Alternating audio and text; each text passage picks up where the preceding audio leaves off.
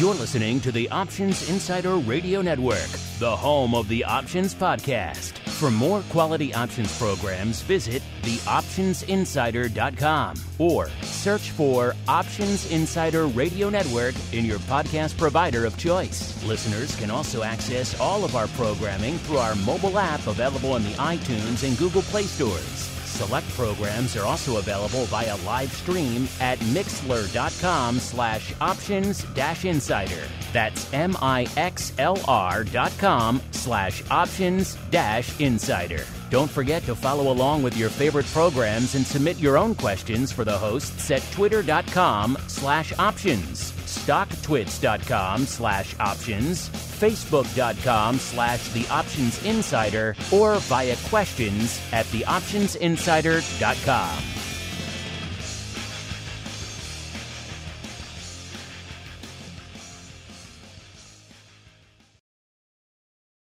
You wanted it, you got it. A radio program that helps teach you options trading inside and out, basic to complex. This is Options Bootcamp. Whether you want to learn how to protect your portfolio, generate income, or even become a master of volatility, the Options Bootcamp drill instructors will break it all down for you. Now, let's get you into peak options trading shape. Here are your Options Bootcamp drill instructors, All right, everybody. That music means that it is Education Wednesday. Time once again for a little bit of the old options boot camp, what the cool kids call OBC. My name, of course, Mark Longo from the THE optionsinsider.com, as well as from the network upon which all of you folks and your moms and your grandmas and your brothers and your sisters are all binging these days. Hey, the more the merrier. If you like the show, tell a friend. Even though a lot of your friends are already listening, it seems like. But we love them all. We welcome you all out there. Keep driving our bandwidth bills up. There's more where that came from. We'll reach deep into our back pocket to buy you folks some more bandwidth uh, to mainline on. Remember, if you like what you hear, don't just tell a friend, but tell people online. A rating, a review, a comment, all that stuff does help to conspire to drive up our bandwidth bills. So if you want to stick your nose in the eye of the black hatted one, And that's a good way to do it as well. leave a rating, leave a comment, whatever you can. Conspire to drive up the bandwidth bills. All that at the end of the day does help. Just like our five star reviewer this week, Midas seventy eight. I guess he's got the got the golden touch. Maybe he likes just uh, the Midas mufflers. I don't know. Either way, thanks for writing in, Midas. He says heard about this show on Reddit. Oh, quite a few folks have said that. Uh, lots of good stuff here. I'm learning a lot. Well, glad to see you've discovered, However, you folks come in whether it's from the growing number of you who like to listen on the newly public Reddit. Did you get a piece of the Reddit IPO action? Didn't look that good at first, then uh, looking a little better now. Uh, hit us up, let us know. We're happy uh, to set you folks straight. We know sometimes on some of these boards and other places, there's a lot of misinformation floating around. A lot of people who've been trading options for two months and now profess to be gurus. a lot of self taught masters of options out there. Dan and I learned the ropes the hard way. We had it beaten into us, quite literally sometimes, on the floor of the CBOE as market makers. So that still to me is the best way to learn how to trade options. So if you're going to learn options trading and you can't really do that route anymore, then you might as well learn from people who have done it. And that means I am referring to him. I might as well welcome on my cohort, the black hatted one himself. Mr. Dan Passarelli from Market Taker Mentoring, what the cool kids call mm, MTM. Mr. P, welcome back to the show. And would you concur that still to this day, the best way to learn about options is from someone who went the market maker route, sir? Yeah. I mean, you know, and I, I mean, I guess in some ways we're biased, but I mean, the fact of the matter is when you when you trade as a market maker, you're taking the other side of thousands and thousands of trades. Like you end up making every single type of trade there is. And in a lot of ways, you're argu- arguably on the wrong side of it because the person who spent all the time researching and, and came up with a smart trade idea to buy this spread, well, you're the one who's selling it to them. So you have to, you're not only making every single possible type of trade out there that there is a thousand times, but you're learning how to manage them, you know, against the grain too. So, yeah, it's, I mean, it's a, it's a great breeding ground for for learning options for sure.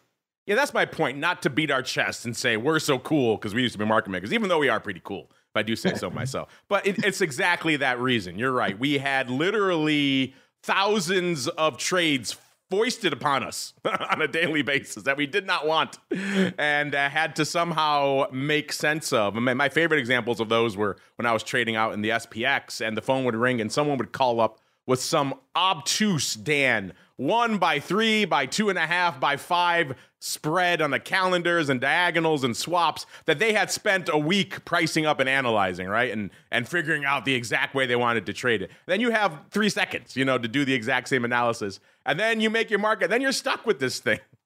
and you have to figure out some way to make money off of it. So uh, there is no better way at the end of the day to learn risk management, which is the most important thing when you're trading options and having all these trades just foisted upon you. I compare it to immersion training for a language, Dan. You want to go learn Italian, you just move to Italy. You sink or you swim.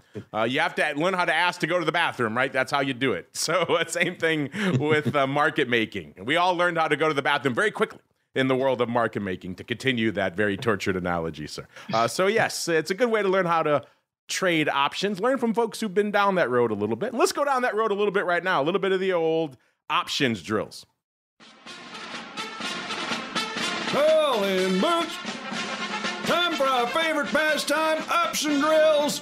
We're going to take the strategies learned during the show and teach you how they can be employed to achieve a specific objective. Do you hear me? Yes, sir!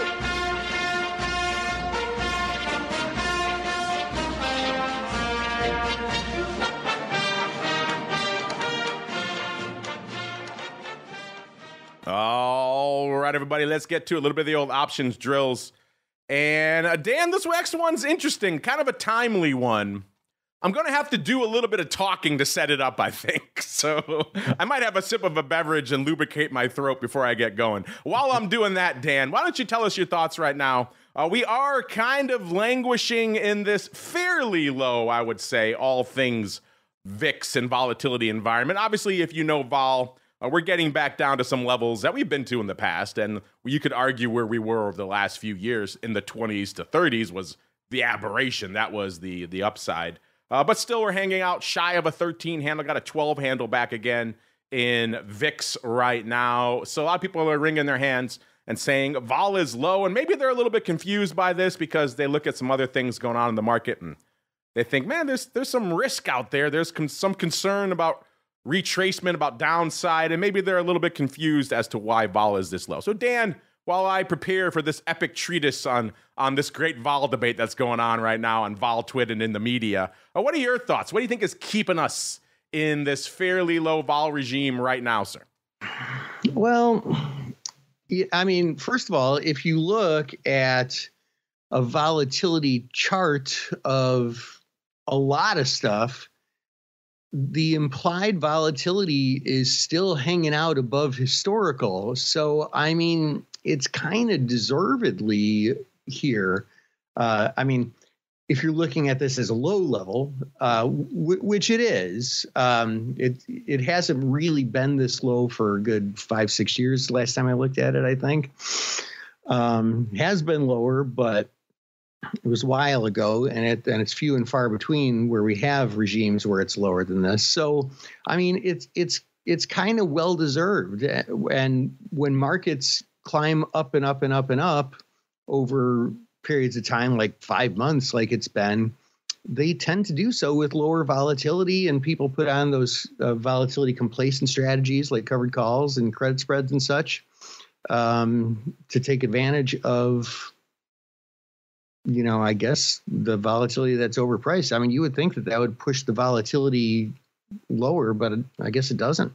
Well, let's get out there and see what's cooking right now. Dan, a lot of this debate seems to be centered around the growth in AUM, or indeed assets under management, of a lot of these quote unquote derivatives income funds. When I say derivatives income funds, uh, that's really predominantly covered call funds. Not a lot of funds out there blasting away at puts. There are a few but uh, the predominant nature of these funds are covered call funds out there. And for a long time, I've met with the folks at Morningstar many times trying to boost up their analysis uh, of options related funds. Uh, they kind of just lumped them all in what I used to term this the options ghetto. Anything that used an option, whether it was income, protection, it was all under the same rubric of options oriented funds. And for obvious reasons, that doesn't really work. I tried to convince them to change that, so with not much success. They didn't really seem to get the the value of this space. I think they're starting to understand it a little bit more now, Dan, uh, because a lot of people pointing out the journal and others recently that uh, assets in these quote unquote derivative income funds really exploding over the last few years. At the end of February, according to Morningstar, 80 billion in AUM out there. It may not sound like a lot compared to your traditional just S&P 500 funds, but that's up from 7 billion at the end of 2020. The SEC made a few tweaks back at the end of 2020 that made it easier for ETFs to now buy and sell options. As a result, this class has kind of exploded. Uh, the largest one right now, the JP Morgan Equity Premium Income ETF, has almost 33 billion in assets alone, so it's over a third of the entire category, just that one fund out there. Dan, have you been have you been aware of this rise in effectively covered call funds over the last few years, sir? Um, no, honestly, um, no, I, I guess I, I'm not. I mean, I, I, know that they've, I know that the strategy has gotten a lot more popular, um, but I guess not really that there's been that kind of a flow into it. No. Yeah, apparently everyone and their mother slinging some covered calls, Dan. Now people are pointing the finger at that and saying that is the reason. This explosion of growth in AUM and these derivatives income funds is the reason that vol is so muted right now. A lot of people uh, saying that. So this kind of debate in the vol space and in financial media kicked off a few weeks ago. It seems like when Cboe came out with a report, uh, they have Mandy Xu over there. She's be a Credit Suisse. She's been on our vol show a few times. A good vol and kind of macro strategist out there. She wrote a report titled "Our Option Income Funds Suppressing Volatility." She points out the same things I was just mentioning: the growth of AUM and these funds and everything else like that. But she points out a few interesting data points that I would have expected to see if they were the culprit as well, which is first off, if these vol selling, these covered call strategies were to blame, one would expect uh, the call wing, the call, the bid of the call skew in these to be just annihilated because everyone in them other is selling covered calls. And the truth is actually the opposite. Some of her research just from a few weeks ago shows that the bid in these calls is similar to what we saw back in the early days of 2021. So it's meme stock palooza land again in a lot of these single names, and it's getting pretty juicy in the indexes as well, which is not exactly the setup that you would expect out there. Also, you expect the you know the volatility risk premium, the amount of juice you get selling implied volatility versus the actual realized would shrink. And actually, it's the opposite. That risk premium has increased quite a bit out there, as we're seeing. Yeah, recently, implied vol not exactly pricing in all the moves we're seeing out there in the marketplace. So selling vol hasn't exactly been the uh, the juiciest of strategies. So Cboe comes out and says no a few weeks ago, and then uh, a lot of people coming out the other way now, including the folks over at QVR Advisors. They've been on our vol show few times as well. This is I think Scott Maydell doing their research. He's been on our vol view show in the past. Uh, they write saying have option selling strategies and funds suppressed implied volatility? The answer to this question is unequivocally yes. they don't they don't beat the bush at all. They come out and say, "You know what? This is the culprit. This is what's keeping vol depressed." They quote a couple of data points including some charts from the Cboe. So kind of trying to hoist Cboe on their own petard, I suppose, by using their own chart out there. They say end users by the way of option selling funds aren't intentionally contributing to this suppression but they are ending up doing it nonetheless at the end of the day as well. And the growth of AUM and these funds, they say, are the cause, and these strategies are contributing to a large structural dislocation involved and have been doing so increasingly en masse since the post great financial crisis. So they say this goes all the way back to the end of GFC. And now, not to be one to miss out on a trend, Dan, uh, the Wall Street Journal jumping into the fray this week as well, uh, writing an article entitled The Short Vol Trade is Back why some investors think it's driving tranquility in the markets. Uh, they again point out all these same data points I just brought out the growth in AUM over these funds over the last four years and some of the tweaks that have allowed them to grow. And also saying these funds are now to blame for tamping down on volatility. And they quote a lot of people in the article saying effectively that uh, Eric Metz, who's been on our network in the past as well. He's over at SpiderRock now. He said, I don't think it's a coincidence. I do think it's a function of demographics. So that's kind of interesting. They also kind of try to tie it in, Dan. This is where I think they stretch a little bit. They try to tie in this vol selling, which again, all these funds are mostly covered call funds, into the next Volmageddon. This is a reprise of what we saw back in 2018, which was, of course, XIV, which was an inverse VIX fund, which is a completely different beast than a covered call fund. But they try to lump them all into the category of selling vol at the end of the day. And can this lead to a Volmageddon 2.0 as a result? Because everyone's now a short vol out there. I think saner heads are probably prevailing on that one. But a lot of things to debate here, Dan, that are kind of interesting. First off, we'll get to the Volmageddon stuff in a second. I have to charitably conclude that hopefully some editors foisted that on the reporters, and that wasn't their supposition to begin with out there. But I'll have to go look and see who wrote that article for the journal. But that said, Dan, before we get there, where do you fall on this great vol debate right now? Assets under management exploding in covered call funds. Is that what's keeping us at this extremely, at least for recent history, low level of VIXer? Yeah, I mean, it's something that can. The interesting thing about it is the the whole point of short volatility is well, I mean, the point of it is you do it when it's overpriced and and you collect theta, but what comes along with that is negative gamma, right? And so when the going's good, the going's great.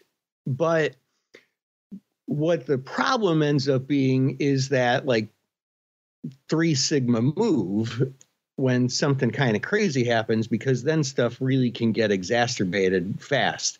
Um, you know, and it's it's kind of the same old thing um, with with this conversation where it's like, hey, everything's going great, everything's fine, yeah, there's no problem, everything's fine, everything's fine, and then um, when something blows up, which it happens every now and then, it's definitely one of those black swan type events, but as we all know, they call them black swan events because they happen more than they're mathematically supposed to.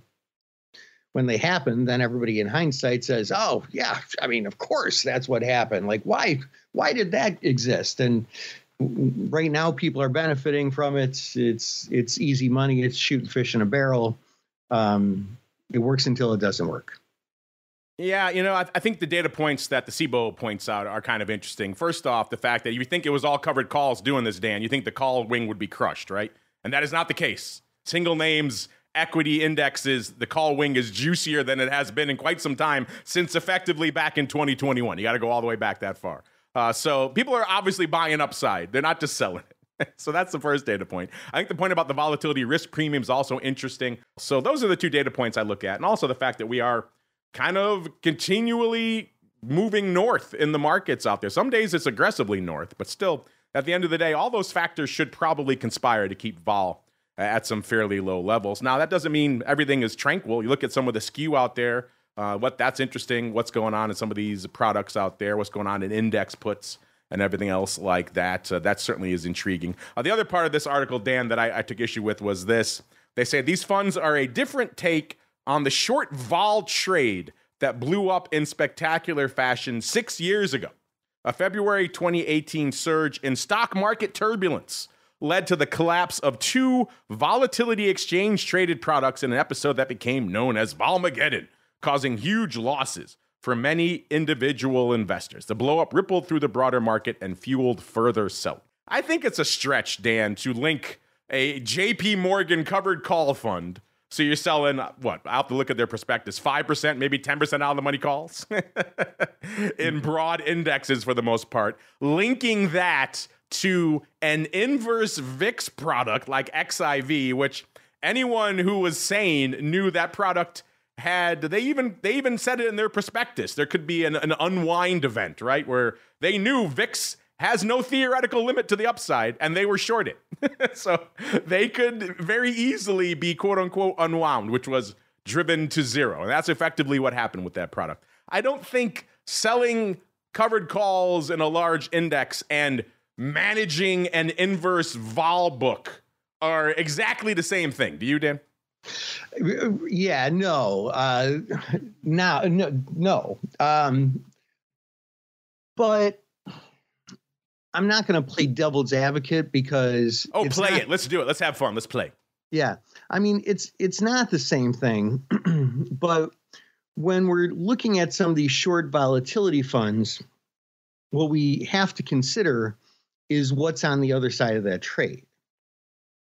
Um, and when when the shares are are traded there, like there's arbitrageurs on the other side of that that are laying off the risk, and what they're doing ultimately is some sort of option selling activity in the market and acquiring negative gamma.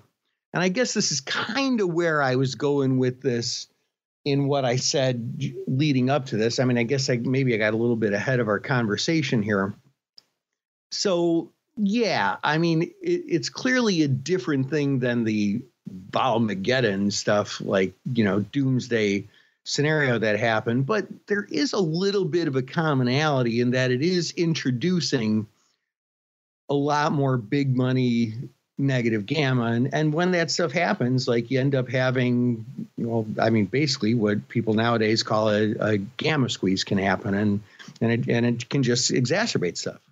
Of course when you talk about the gamma squeezes famously back in in 2021 that was where people were buying a lot of upside right? So the market makers like we were talking about earlier were taking the other side of that. So they were short infinite upside. So they kept blowing through strikes that they were short to the upside they were mm-hmm. short gamma, so that kind of led fuel to the fire. You know, the, the hypothesis of this article is the other way that they're loading up, they're choking on upside, right?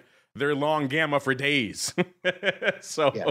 in that yeah. scenario, I, I, think that the chances of a squeeze uh, from a gamma perspective on the market maker side, you don't really exist, at least to that same extent. So I think it's kind of a little bit hyperbolic. I get it. You have to sell papers at the end of the day. You got to drive clicks uh, on the websites. I understand throwing a little bit of Armageddon in there.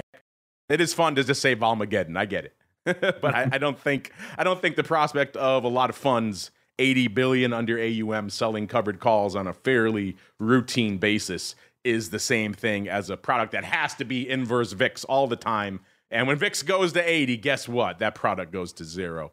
It's I think for the most part. There's obviously another culprit out there. I think that's keeping vol suppressed. They don't even talk about zero day in this article. I don't think we still really fully understand the intersection of all this flow 50% of SPX flow and all these other indexes flowing into options that are listed and expire in the same day. That's obviously going to have an impact on how the rest of the options trade and performs. I don't think we fully understand even that yet. There's a lot of other shoes to potentially drop. I'd be curious for you folks out there. In fact, this might be a good question of the week for next week. Producers take note about uh, do you believe what the Wall Street Journal is selling out there? Is it the growth of assets and all these derivatives income, aka covered call funds, that are to blame out there, listeners, for all this madness in the vol space right now. Hit us up. Let us know as we keep on rolling. We got time for a little bit of the old mail call.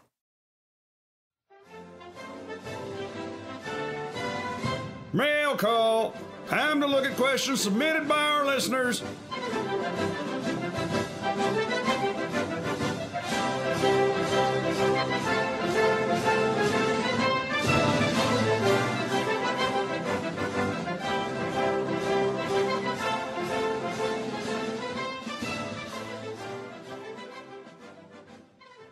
Right, Dan, the folks have been waiting with bated breath for you to regale them with their hotly anticipated market taker question of the week. What you got for us?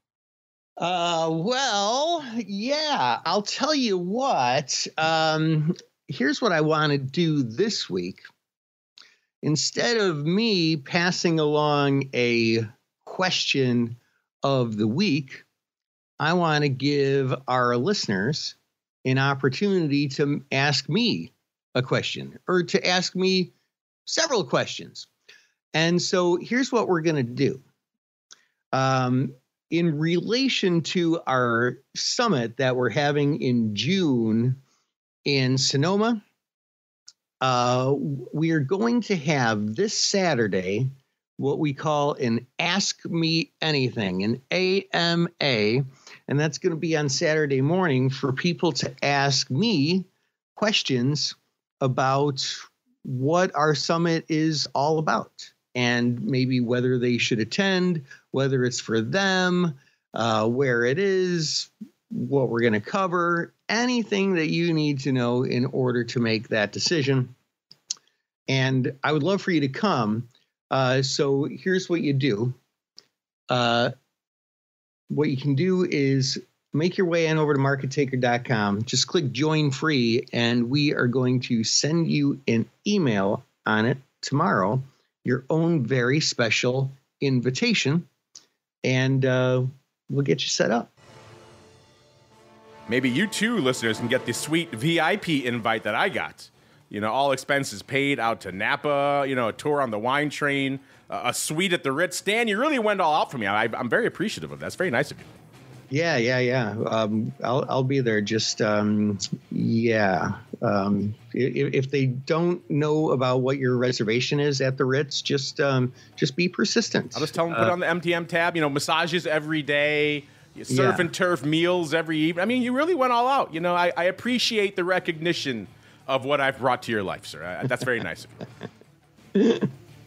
Excellent. I was actually just talking with someone just uh, the other day about uh, Napa Valley Vineyards, and now it's got me wanting to go back. I haven't been to Napa in quite some time. I think the OCC uh, should take your lead, sir, and do the next OIC conference out in Napa. That would be fun.